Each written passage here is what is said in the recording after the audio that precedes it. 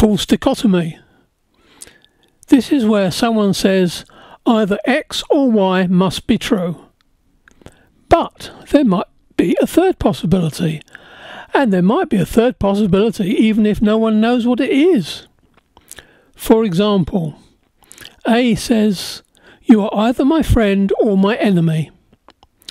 B says, well, I don't actually know you, so it's neither.